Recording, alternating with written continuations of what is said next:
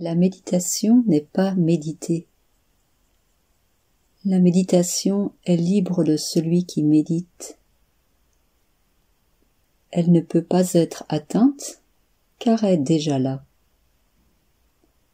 Aucun effort ou tentative ne peut la saisir, car elle est ce qui saisit.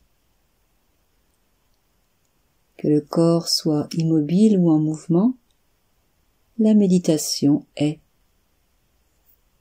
Que la bouche parle ou reste silencieuse, la méditation est.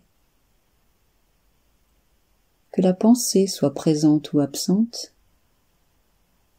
la méditation est. La méditation est ce qui reste lorsque le vouloir méditer n'est pas.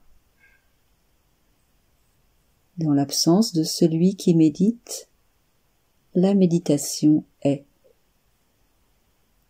Elle est l'ultime négativité et l'ultime positivité. C'est elle qui nourrit le sens du je suis. sans forme, elle habite toutes les formes. Sans couleur, elle habite toutes les couleurs. Silencieuse, elle habite tous les sons. En voulant la saisir, elle se dérobe.